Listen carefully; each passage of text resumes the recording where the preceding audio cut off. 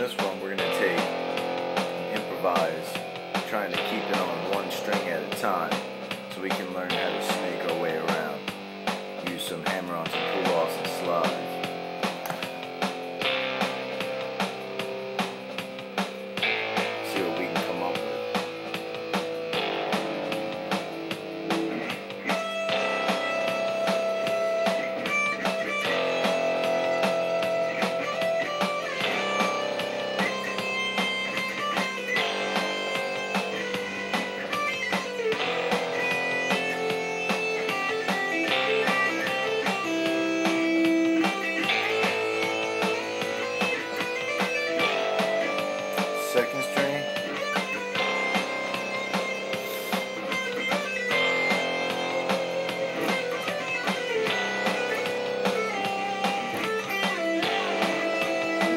You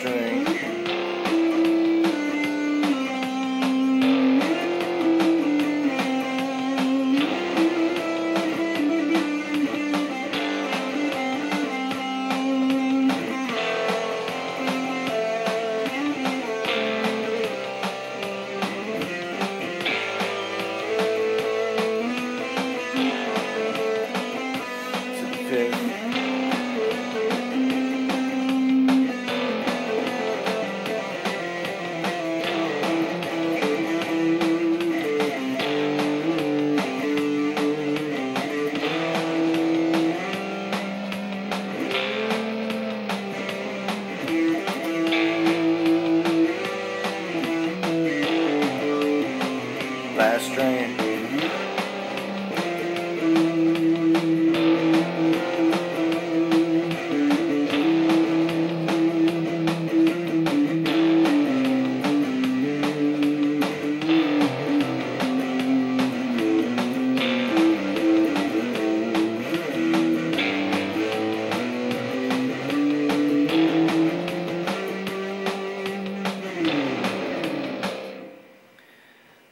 So that's it right there. You got to learn how to snake and uh, spider up and down each string and find your way around.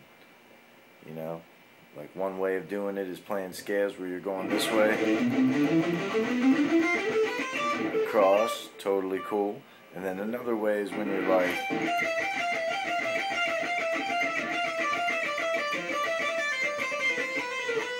kind of using that one string effect.